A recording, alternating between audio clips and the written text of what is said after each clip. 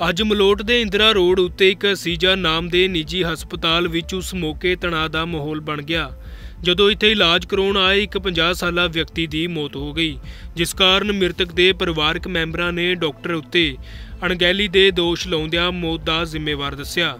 ਜਾਣਕਾਰੀ ਮੁਤਾਬਿਕ 50 ਸਾਲਾ ਮ੍ਰਿਤਕ ਜਗਦੀਸ਼ ਕੁਮਾਰ ਮਲੋਟ ਦਾ ਰਹਿਣ ਵਾਲਾ ਸੀ, ਜੋ ਕਿ ਪੇਟ ਦਰਦ ਹੋਣ ਤੋਂ ਬਾਅਦ ਹਸਪਤਾਲ ਵਿੱਚ ਇਲਾਜ ਲਈ ਆਇਆ ਸੀ। ਡਾਕਟਰ ਸਾਹਿਬ ਦੀ ਗਲਤੀ ਹੈ ਜੀ ਸਾਰੀ। ਵੀ ਜੀ ਘਰੋਂ ਸਹੀ ਨਾਸ਼ਤਾ ਪਾਣੀ ਕਰਕੇ ਵਧੀਆ ਆਏ ਆ। ਰਸਤੇ ਦੇ ਵਿੱਚ ਥੋੜਾ ਜਿਹਾ ਦਰਦ ਮਹਿਸੂਸ ਹੋਇਆ ਉਹਨਾਂ ਨੂੰ, ਤਾਂ ਕਿ ਉਹਨਾਂ ਨੇ ਆਂਦੇ ਵਾਕੀ ਡਾਕਟਰ ਨਾਲ, ਸਾਹਿਬ ਨਾਲ ਵਿਖਾਣ ਲੱਗ ਪਏ। ਡਾਕਟਰ ਸਾਹਿਬ ਨੇ ਟ੍ਰਿਪ ਲਾਈ ਹੈ ਇੰਜੈਕਸ਼ਨ ਵੀ ਲਾਏ ਆ। ਜਦੋਂ ਦਰਦ ਉਹਨੂੰ ਉਦੋਂ ਵੀ ਹੁੰਦਾ ਪਿਆ ਸੀ, ਉਹ ਕਹਿੰਦਾ ਜੀ ਮੈਨੂੰ ਜ਼ਿਆਦਾ ਹੋਣ ਲੱਗ ਪਿਆ। ਕਹਿੰਦਾ ਤੁਸੀਂ ਘਰੇ ਜਾਓ ਤੇ ਕੋਈ ਉਹਨਾਂ ਦੇ ਨਾਲ ਜਿਹੜੇ ਦੋ ਜਣੇ ਸੀ, ਉਹਨਾਂ ਨੂੰ ਕਹਿੰਦਾ ਤੁਸੀਂ ਘਰੇ ਚਲੇ ਜਾਓ ਕੁਝ ਨਹੀਂ ਤੁਹਾਨੂੰ ਵੇਖ ਕੇ ਹੋਈ ਜਾਂਦਾ ਦਰਦ ਇਹਨਾਂ ਨੂੰ। ਕਿਉਂਕਿ ਇਹਨਾਂ ਨੂੰ ਪਤਾ ਸੀਗਾ ਇਹਨੂੰ ਮੈਂ ਗਲਤ ਕਰ ਬੈਠਾ ਕੰਮ। ਤੇ ਕਹਿੰਦਾ ਵੀ ਇਹਨੂੰ ਦਰਦ ਗਲਤ ਤੁਹਾਡੇ ਕਰਕੇ ਹੋਈ ਜਾਂਦਾ, ਤੁਸੀਂ ਚਲੇ ਜਾਓ ਤੇ ਤੁਸੀਂ ਨੰਬਰ ਦੇ ਜਾਓ ਆਪਦਾ।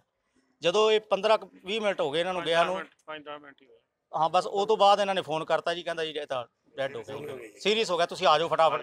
ਜਦੋਂ ਆ ਚੱਕ ਰੱਖਿਆ ਉੱਥੋਂ ਉਥੋਂ ਚੱਕਤਾ ਜੀ ਸਾਰਾ ਕੁਝ ਜਦੋਂ ਇਹਨੂੰ ਵੇਖਿਆ ਸੀ ਆ ਕੇ ਤੇ ਜੀ ਪੂਰਾ ਸੀਗਾ ਬਸ। ਦੂਜੇ ਪਾਸੇ ਪੁਲਿਸ ਨੇ ਮੌਕੇ ਤੇ ਪਹੁੰਚ ਕੇ ਮ੍ਰਿਤਕ ਦੇ ਪਰਿਵਾਰਕ ਮੈਂਬਰਾਂ ਦੇ ਬਿਆਨਾਂ ਦੇ ਆਧਾਰ ਤੇ ਮਾਮਲਾ ਦਰਜ ਕਰਕੇ ਤਫਤੀਸ਼ ਸ਼ੁਰੂ ਕਰ ਦਿੱਤੀ ਹੈ।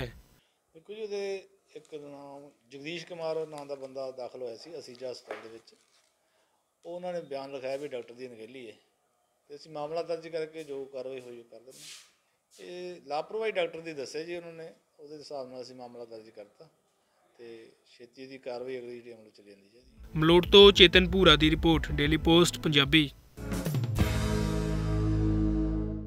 ਸਤਿ ਸ਼੍ਰੀ ਅਕਾਲ ਸਾਰਿਆਂ ਨੂੰ। ਜੇ ਤੁਸੀਂ ਕੈਨੇਡਾ ਸਟੂਡੈਂਟ ਵੀਜ਼ੇ ਤੇ ਜਾਣਾ ਚਾਹੁੰਦੇ ਹੋ ਔਰ ਆਪਣੇ ਮਨਮਰਜ਼ੀ ਦਾ ਕੋਰਸ ਚਾਹੁੰਦੇ ਹੋ, ਤੇ ਮਈ ਔਰ ਸਤੰਬਰ ਸੈਸ਼ਨ ਵਿੱਚ ਅਪਲਾਈ ਕਰਨ ਦਾ ਇਹ ਸੁਨਹਿਰੀ ਮੌਕਾ ਹੈ। ਪਿਰਾਮਿਡ ਈ ਸਰਵਿਸਿਜ਼ ਨਾਲ ਨਾ ਹੀ ਸਿਰਫ ਤੁਸੀਂ ਹੁਣ ਅਪਲਾਈ ਕਰਕੇ ਆਪਣਾ ਆਫਰ ਅਪਲਾਈ ਕਰ ਪਾਓਗੇ, ਬਲਕਿ 3 ਤੋਂ 5000 ਡਾਲਰ ਦੀ ਸਕਾਲਰਸ਼ਿਪ ਵੀ ਟਾਈਮ ਸਿਰ ਅਪਲਾਈ ਕਰਕੇ ਹਾਸਲ ਕਰ ਪਾਓਗੇ।